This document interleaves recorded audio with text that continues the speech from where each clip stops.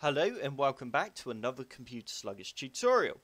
Before we get started, have you subscribed to my YouTube channel yet? If not, be sure to click on the big red subscribe button on my main page. And once you have done this, don't forget to click on that bell to be the first to get notified when I upload a new video. In today's video, I will be showing you 5 ways to fix Battlefield from crashing, not starting up, and just freezing all the time. To start off with, First you need to go down to the bottom left hand corner of your screen and click on the start menu. You now need to find Battlefield 5, so start typing in Battlefield and you now need to right click on Battlefield 5 and go open file location. You now need to right click on the shortcut file and go down to properties. We now need to go across to compatibility and you now need to tick the run this program as administrator option and press apply. And we can now go ahead and press OK. Once you have done that, you now need to right click on the shortcut again and go open file location. And you now need to go into installer folder at the top. And you now need to click on the VC folder and VC 2015 and you now need to click on this folder here and you now need to run the version for your computer. If you're not sure what version of Windows you do have, you can go down to the bottom left hand corner of your screen and right click and go to System. And as you can see, my system type is a 64-bit operating system, which means I need to run the 64.exe here.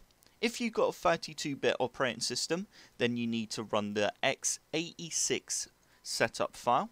I'm now going to double click on this setup file and I now need to go I agree and install.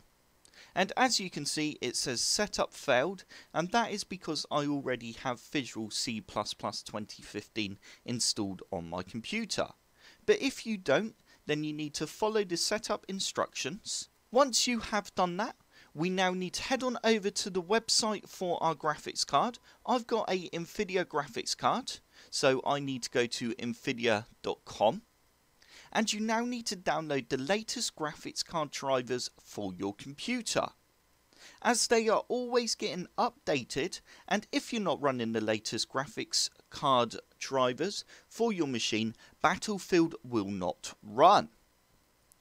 Once you have updated all your graphics card drivers, you now need to restart your computer and once you have restarted your computer, you now need to disable any antivirus programs you have on your machine. I'm now going to go down to the bottom right hand corner of my screen and right click on Avast. And I'm just going to disable all the shields for a hour just so I can test Battlefield 5. Once you have done this, you now need to go down to the bottom left hand corner of your screen again and you need to type in firewall and you need to open up Windows Defender Firewall. Once this is open, you now need to click on Allow an app or feature through Windows Defender Firewall. And you now need to scroll down until you find Battlefield 5 and you just need to make sure the private option is ticked. You can always tick the public option as well if you want to just be safe, but as you can see mine is just ticked on private and Battlefield 5 works absolutely fine on my machine. Once you have done this, you can now boot up Battlefield 5 and fingers crossed it will now work. If it doesn't work, then make sure you are running the latest version of Windows 10 by going into Windows Update and if you have figured out a way to fix Battlefield 5, but I have not said about it today in this video, please comment below and help everyone else out. I hope this tutorial has helped. If it has, hit the like button below and subscribe for more computer sluggish tutorials.